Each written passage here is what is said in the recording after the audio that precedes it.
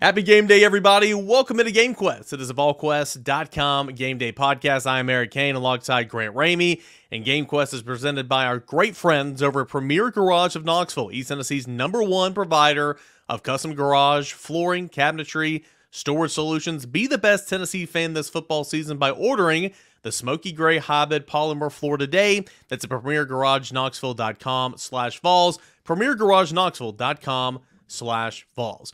Grant Ramey Tennessee Volunteers are 2 and 0 here in the young season. Game number 3 is set for Neyland Stadium Saturday night 7:45 Eastern Time. It'll be televised on the SEC network and right here from the top, man, it's uh, it's going to get ugly in this one, wouldn't you say?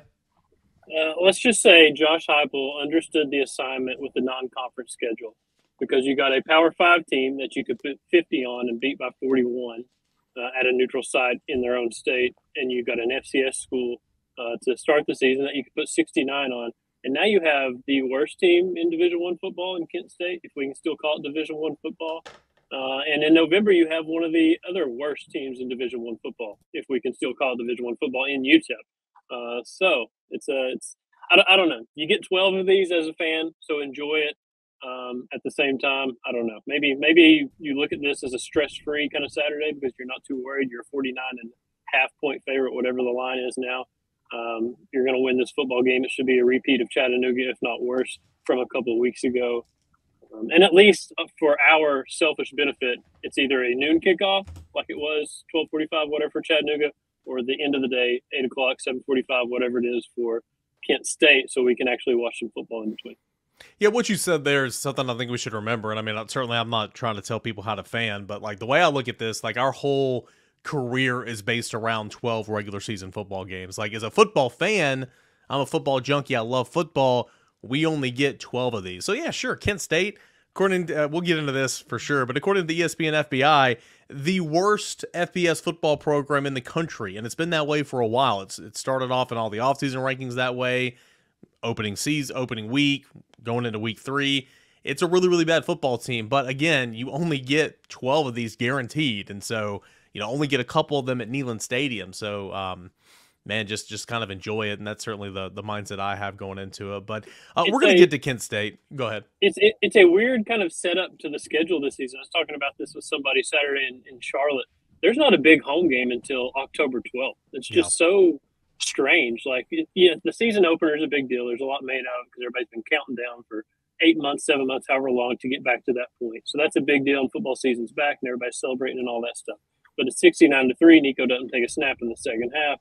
You know, you play your entire roster. You play everybody that's ever gotten near the Anderson Training Complex at that point, um, and then come back after the neutral site game in Charlotte, and it's Kent State, and then you go two straight on the road in SEC play with that bye week in between with uh, Oklahoma bye week, Arkansas. It's not until Florida October 12th. Is that correct? Yeah, because mm-hmm. Arkansas is October 5th. It's just I don't know. It's a strange step. You're used to that. Maybe week three, week two, whatever it is. There's a huge home game, usually Florida or whoever else.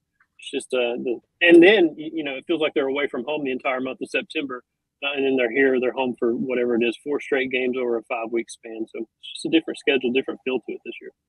Yeah, certainly it is. Um, take advantage of this one because you're on the road next week in Oklahoma, and that's that's the game everybody's kind of talking about right now. And, and we as fans, we as media, we can look ahead. If I'm if I'm those guys in that locker room, certainly the coaching staff isn't you know looking ahead or preaching to look ahead.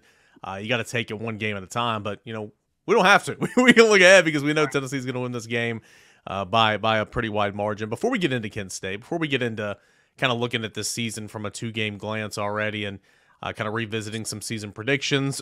Grant, if you want to change yours, um, I do. What happened? Look... What happened? What, what do I need to change for? What happened? I do want to look back at the NC State win. Um, Grant, I think all of us thought that um, you know as the as we led up to that week and as as we uh, kind of got closer to kickoff, I think everybody and their mother was picking Tennessee to win. But it started to get to that point to where it was like, okay, well Tennessee's going to cover. Tennessee's going to win this by a couple touchdowns. Tennessee's going to blow them out despite that kind of being the feeling, I still did not envision 51 to 10. I didn't envision a, a pick six, um, two pick sixes in this football game. I didn't envision the complete and total dominance of that defense and that defensive line. And, and Grant, we've talked about this all off season. and it's going to be a point of conversation leading into every game this season. But to see it play out the way it did, it was a Rodney Garner defensive line that went 13 deep, 14 deep, and they just made it a living heck all game long for Grayson McCall, all game long for NC State's offensive line.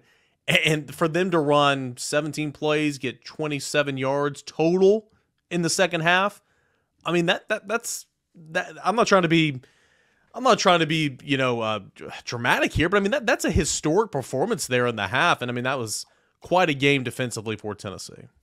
I mean, I picked NC State to score 31 points. So if I if I don't already look stupid enough for maybe saying this team's going to lose three games, uh, maybe you can add that to the to the ledger, and and yeah. maybe that's a that's a you know statement on preseason rankings and trying to figure out which teams are good because I don't think NC State's anywhere close to a ranked team uh, at this point in the season. I don't know if they will be.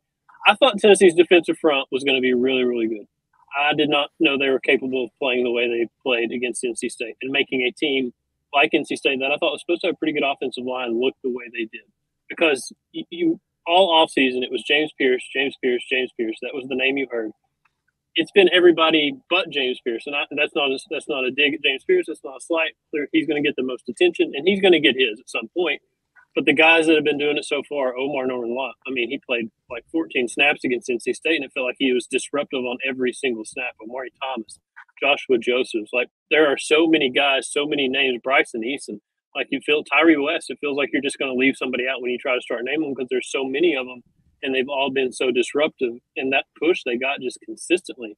I mean, NC State wasn't going anywhere running the football. Um, uh, Grayson McCall couldn't do anything dropping back like Tennessee played with a short field and NC State helped them out a lot with those fumbles and all that stuff. But Tennessee also forced that pressure, forced those fumbles. Those were strip sacks when that happened. There were some bad exchanges. Obviously, that's on NC State, but I think that's because you set that tone at the start of the game, like they're going to be in the backfield all night. And for them to do that, man, and, the, and how quickly it got out of hand, maybe it's different if uh, NC State goes in and scores there and makes it 10 10 in the second quarter. Uh, but the way it just rolled once Tennessee got going, and it didn't feel like Tennessee played all that great offensively. Like the run game, super efficient. I'm still the president of the Dylan Sampson fan club. I think he's great. He's only going to get better, and he's still underrated. But I didn't know they were capable at this early point in the season to play in the way they did, just a complete football game defensively against an opponent that might not be that great, but the way you played at that level is very, very impressive. Yeah, we're going to look at Dylan Sampson, kind of where he stacks up in the SEC through two weeks. And talking about James Pierce getting his, I mean, there are days where, Grant, you only post four or five articles, but we know the next day you're going to post like nine or 10. So it's going to even out. We're, we're, you're going to get yours. Am I getting chipped? Am I getting what? What, what look am I getting? yeah, yeah. You, you got a tight end that's staying in the block against you, but you're going to get yours eventually, right? That's that's what James Pierce is going to be about. Um, before we kind of transition here, uh, last thing on the NC State game, you mentioned offensively. I, I, couldn't agree more, man. They ran the football so well. I mean, anytime you run for almost 250 yards, like you can't say the offense had a bad day. They, they went with that 12 personnel, two tight end look for uh, for a lot of the time, and that's something that Tennessee can do moving forward if needed.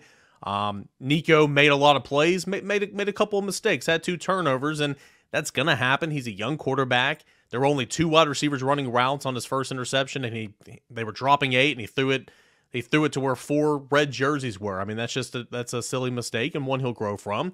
The second one, you know, he got clobbered while throwing it. Maybe you should have just went down and, and taken the sack there. But um, I thought Nico made a whole lot of plays. I thought his best play of the day was the touchdown to Miles Kitselman that got called back um, because of a, a, phantom offensive lineman down the field, which which didn't happen. I guess point is still with all of that, it felt like Tennessee's offense was far from good. And that's a scary thing for everybody else in the Southeastern Conference because Tennessee's offense still did a whole lot in that game. And, and overall, you won a football game by 41 points, and your offense probably had a C effort. What I was impressed with was Nico's response from that interception because he yeah. forced it in there. He was in front of Bru.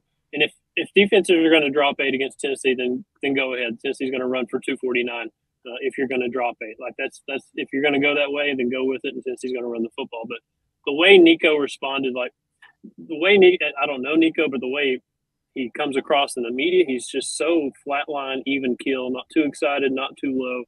I watched the replay of the game the other day. It looked like he had that same exact demeanor on the sideline after the interception, uh, after touchdown passes, after a touchdown run, whatever. I think it was my, maybe two attempts later after that pick was that deep ball to Squirrel that he put right on the money, right in stride, right there on the sideline, uh, dropped it in the bucket like he did against Chattanooga. That was a huge response. Uh, just the, the easy throws to Miles Kitselman when he sneaks out there, he rolls right once when nothing's really happening. Uh, the touchdown pass was another one that uh, he's wide open. It would be easy to get excited and overthrow him or, or miss him or whatever. It's just and, and, the play you're talking about with the, the phantom downfield where uh, it's just scramble drill and Miles sees Nico and Nico sees Miles and, and Bru McCoy also got down the field on that as well yeah. and, and kind of executed there. Um, so his response and you know he looked human with that interception. It was ugly and he responded in a good way. Um, and I think he's going to be fine too if, if they run for 250 a game. If they can live that way, that's I think he's going to be signing up for that all the time. But I was I was really impressed with how he responded because of how elite he looked in week one. You knew it wasn't going to be that easy in week two, and for him to have, kind of have that early mistake where you say, "Oh boy, what's going on here?" and for him to respond the way he did as a redshirt freshman in his third career start, I thought that was huge. I think Tennessee's got to go win a quarterback. Just me, just me. Maybe I'm gonna go, just, gonna go out on a limb there. Gonna go out on a limb here and say Tennessee uh, has got a pretty good one at quarterback right now. Hey, when we come back, we're going to look at Kent State, tell you all about Kent State, what you need to know, and we're going to look at Tennessee through two games here this season where some of Tennessee's players stack up amongst other players in the Southeastern Conference. Do want to tell you about our friends, the presenting sponsor of the show. Uh, this is Knoxville Premier Garage. All right, Premier Garage in Knoxville. Garage guys or gals who bleed orange. Do you use your garage for some sort of man cave? watching football throughout the fall, or maybe even trying to get a quick escape from the family. If you're like me, I like to start every football Saturday in my garage watching college game day or even the, the start of that new 1245 game on the SEC network. It is your place, a place to kick back a few cold ones, maybe escape from it all watching football this season. So here's a question for you. What better compliment to this garage, a sanctuary of sorts, than Premier Garage of Knoxville's custom smoky gray hybrid polymer floor? Premier Garage in Knoxville, East Tennessee's leading provider of custom garage flooring, cabinetry, and storage solutions. And, and talking about that floor that I was talking about right here, look at it. Look at that gorgeous, gorgeous floor right there. That big old power tee, but uh, the smoky gray. I mean, Tennessee wears it on the field, so might as well flake your garage in it as well. They only use company employees as opposed to subcontractors to ensure that you receive consistent craftsmanship and personalized attention. 15 plus years of business, locally owned and operated.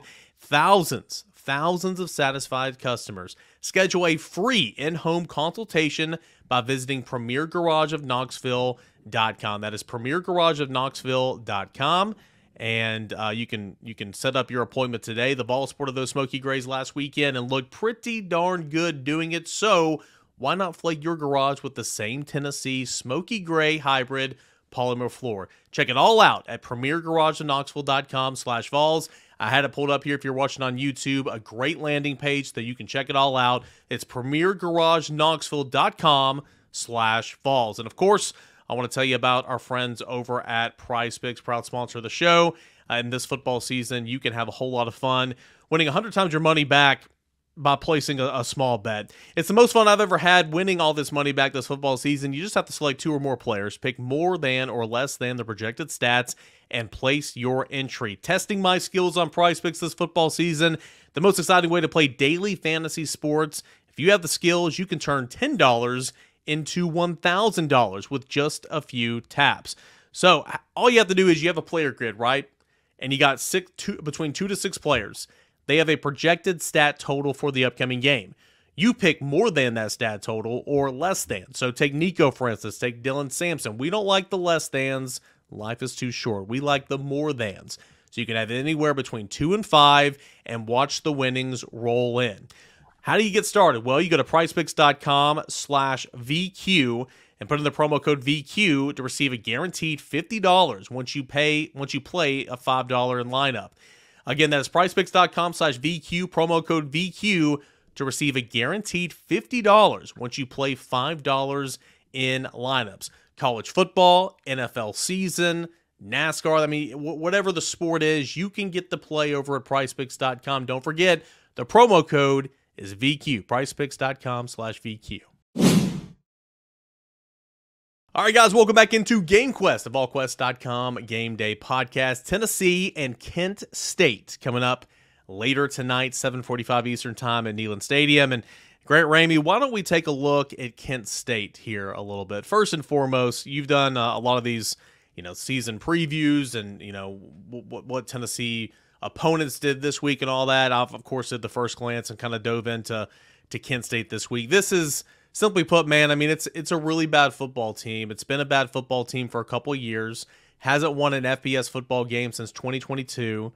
Um, I mentioned the ESPN Power Index earlier. It's the last ranked team in FBS. Things can get ugly. Um, how ugly can it get? I mean, according at the time of this recording over at FanDuel, Tennessee's spread is at, spread is at 49 and a half with the total at 62 and a half. You hammer the over on this one if, if I'm if I'm uh, going to play and of course I'm taking Tennessee in that humongous line there at 49 and a half.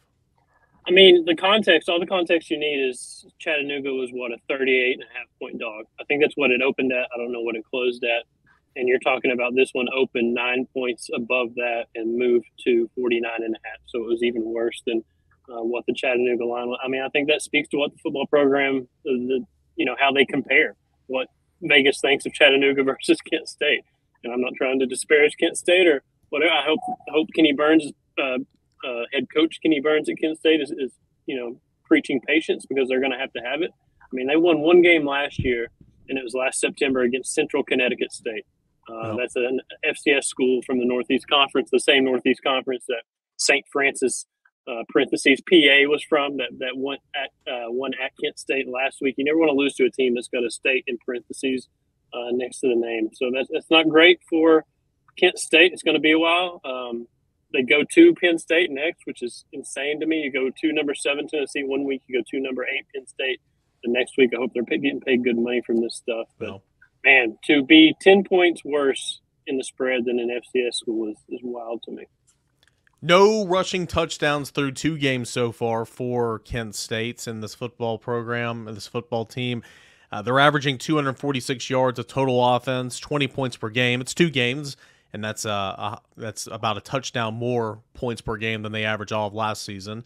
Uh, I guess I should mention they opened the season losing 55 to 24 at Pitt, and uh, of course, as you just mentioned, they lost at home to FCS St. Francis 23 to 17. But yeah, they're averaging 246 yards of total offense. Um, they're averaging 54 yards on the ground. He, here's a stat that I think is just wild to me. Um, third down conversion so far this year. In two games, they converted on five of 30 opportunities. That is 16%. Is that Ooh, bad? That is that is not good. In the red zone, they've had five trips. They have scored twice. They have scored one touchdown in five trips to the red zone. Um, defensively, they're giving up 40 points a game, averaging almost 500 yards of total offense, averaging almost 200 yards on the ground. Um, not good on third downs. They've allowed seven. They've allowed points in seven of eight red zone trips and six touchdowns total. So, um, on paper, again, really, really bad football team. They got a running back that didn't play football last year, to my understanding. Um, he's their leading rusher, if you want to call it that. Their backup quarterback is now their starting quarterback from a season ago. Um, he's he's okay. They don't complete passes at a high clip. Um, again, they've allowed 19 TFLs in two games as an offensive line it's it, you know Tennessee can play its backups. It will play its backups at times, Grant, and, and the the score should continue to grow as the game goes on. All those things you're mentioning, like, are you know what they're walking into is kind of worst case scenario. You're giving up 200 on the ground. Well, here comes Tennessee, who runs for 250 against Tennessee State. And in my opinion, has got one of the best backs in college football, in Dylan Sampson. You got a future first round pick at quarterback. They're, if they're not running the ball, he's going to pick you apart through the air. Uh, what the defense did against NC State, you would imagine they could do so even more against um, Kent State. What they did against Chattanooga, I mean, they haven't given up a touchdown. They haven't allowed a touchdown since November when Vanderbilt was in the Stadium. Like that's the kind of run they're on, and I think they're just getting better. Um, it's it should be you know a, a, repeat of Chattanooga, honestly, and it's it's. I've listened to what y'all said on the roundtable and podcast and all this stuff this week. It is tough to kind of balance these games because you want to get everybody reps, but also, you know, Nico needs to get enough reps too to kind of stay sharp and you don't want to completely bench those kind of guys and, and get them kind of out of the field. But it's almost like an NFL preseason game and then the season opener and then another preseason game and then back into the regular season. Like, how do you manage that as a coach? Like, defensively, I don't think it's a huge deal because they're already, you know, rotating like hockey shifts and nobody's playing a ton of snaps. Yeah. And all that's great for later in the year.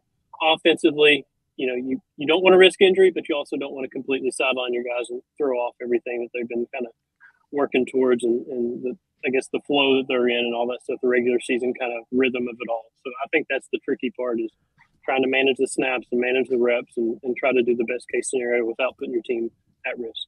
Yeah, and, and like like Nico needs more reps. You know, some of these guys need reps, reps for reps, and, and it's a great opportunity to get them. But in the same sense, it's like, I mean, every fan is like, I, I don't want Nico to get hurt, right? I mean, you had uh, the game uh, against um, whatever game that Cedric Tillman got hurt. Was it Akron? Um, Akron, yeah. Yeah, Cedric Tillman got hurt in a game that meant nothing, and he was pretty much out for the rest of the year. I know he came back and made some appearances and and all that, but he was certainly not the same player. I mean, he was pretty much done for the rest of the year, and, and that is what you don't want in a game like this. I mean, there's no way to like stop that. Like you got to go out and play hard. If you don't go out and play the football game hard, you are going to get hurt because somebody else is going to be playing harder than you.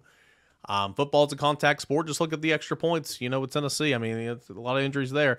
Um, it, it's tough to uh, it, it's it's tough to stay injury free in this game, but you can't go out there and play scared. So if you're Josh Heupel, how would you manage this? I mean, you mentioned defense. I couldn't agree more. It's already a rotational thing. But if you're Josh Heupel, how are you managing Nico? How are you managing Sampson and, and that starting offensive line uh, in, in, terms of trying to get reps, doing it the right way, and then also getting them out before they're hurt? Yeah, I mean the Cedric Tillman scenario is, is worst case worst case scenario, and, and you try to guard against it, but it's impossible to guard against it. You could have injuries in practice. I mean that is what it is. It's football. It's a physical game. I don't think Nico takes a snap without the starting offensive line in front of him because in my head is that rep against Chattanooga in the second quarter when I don't even know what the score was, but I think it was Larry Johnson yeah. at one of the tackles and, and Nico gets kind of rolled up on from behind. Like that's panic move, panic mode. You don't want to see that. Don't let the guy get touched. If he's in the game, your your starters need to be in the game with him. And then I would just go kind of kind of similar to what they did against Chattanooga. If you can get out to a huge lead, if it's if it's nothing from the start for you to jump out to a 38 nothing lead, then coast in the second half, get your younger guys involved. Like, yeah, they need to get other guys involved that haven't have been as involved. I guess Dont'e Thornton had maybe one target against NC State. Chris Brazzell, maybe he could do more. Mike Matthews, Braylon Staley, those guys, DeSean Bishop, Peyton Lewis, all those young guys that are the depth pieces uh, that you're going to need some something from uh, on down the road. I mean, obviously we, we saw it with DeSean Bishop against NC State with Cam Seldon now um, if you can take care of business early, then I'd get everybody out by halftime and, and kind of turn your attention to Oklahoma and, and go from there. We'll come back to Kent State. We'll give some score predictions. We'll give some bowl predictions, but uh, I do want to look at some of the SEC leaders here through two weeks. And and again, you know, Tennessee played UTC, and then Tennessee played NC State. NC State was a top 25 matchup at the time. We'll see how they finish the year. a lot of teams played a cupcake. Some teams have played you know bigger games than others. But here's two games and look who's leading the SEC in rushing right now. That is Dylan Sampson, 256 yards, six yards more than than Jackson from Arkansas. Um, you look at, I believe, uh, scoring. Tennessee's Dylan Sampson tied for the league lead with five touchdowns already um, through two games, tied again with Jackson from Arkansas. Uh, you look at Nico; he's at fourth. And really, I thought about this the other day. Like, I mean, Nico's played of the possible eight quarters. Nico's played what five of them? like so he, he's fourth in the SEC in passing right now with 525 yards passing. Uh, but he's only played five of the possible eight quarters so far. Look at this one down here, if I can find it. Uh, Squirrel White's fourth in punt return yardage. I think he's done a really, really good job in terms of being a returner. All purpose, Dylan Sampson's leading the all purpose yards in the SEC, 322, five more than Coleman Jr. from Mississippi State. And Got one more I want to show you. Here we go. Field goals. Look, look who's leading the SEC in field goals right now. Gilbert, look at you, Max Gilbert. And he, he was a, first, a perfect five for five before he missed that sixth attempt on that 53 yarder the other night. Yeah, yeah, five of six. Um, he spoke to the media the other day, and like, I mean, like he looked like a kicker. He didn't, and I mean, no disrespect to kickers. He he seemed really confident in himself. He seemed really confident in his abilities, almost like I'm not saying this is a bad thing, but he was like almost borderline cocky a little bit. Like you don't see that from kickers a lot. Maybe that's just me looking into it, but I'm like, huh, okay, I like that. Um, but he, his play on the field certainly backs that up right now through two games, and that that's a good thing, Grant, because we had no idea about Tennessee's place kicker, and he's come on. He's he, he's had a really good opening to the season, and and there will be pressure kicks in Norman next week, and I think he's well equipped to try to go out there and handle that situation. Give me the arrogant kicker over the head case kicker any day of the week. And when his number's been called, he's been fine. He's been straight down the middle. It's been far enough. I mean, 53, maybe that's a little bit of a stretch, like he missed the other night against NC State. I don't, really blame him there. Uh, the biggest stat from that page you were just looking at is total yards with Dylan Sampson because I think he's so good out of the backfield, whether it's that shovel pass or just check downs or whatever. Man, when he gets the ball in his hands in space, he's so hard to get on the ground. He's so talented. What did Peyton Manning said we got an idiot kicker? No, he said punter. He said punter, right? We got an idiot punter. Oh. At least he's uh he's not Brian Callahan saying if we punted on first and ten every time we'd be fine. All right, Tennessee and Kent State. Um, let's give a couple. Let, us have some fun with this, right? I mean, they literally should empty the bench. Um, every football player that's in uniform that's available should play in this football game. This is one of those games to where, like you saw against NC State, some of those guys that played against UTC did not play against UT uh, uh, NC State because they might be a redshirt candidate, right? So you're trying to save one of those games. Um, this is one of those games where if you redshirt, you'll play in, like for sure. So um, I, I think that there's going to be a whole lot of different players. I think that there's going to be a whole lot of snaps and everything. And so, uh, give me a couple of different bold predictions, bold takes, something you want to see maybe. Uh, Braylon Staley touchdown and a Mike Matthews touchdown in the same game. Um, and I'll go to Sean Bishop, 137 yards and two touchdowns. Now, don't want to pat myself on the back, but here, here goes me straining my rotator cuff. Um, I think last week I was 163 and three touchdowns for Dylan Sampson, total yards, mind you, and he finished with 169 and two touchdowns. So he showed that you. Close, that might be as close as I get all season. So we'll go there. Take a bow. Take a bow, man. That's that. That, that was. That was do I need to do a score prediction as well? Yeah, do a score prediction. Uh, 69 again. Nice. It's like Chattanooga. 69 to five. Kent State is a safety better than Chattanooga on Saturday. How are they going to get a safety? No Show your work. I'm uh, curious. How are they going to get a safety? Uh, Tennessee punts in the fourth quarter when there's 37 people in the stands and it's 11:37 Eastern time, and uh, it goes over the head of whoever the third punter on roster is, uh, and out of the back of the end zone. Is that safety? I think that's a safety.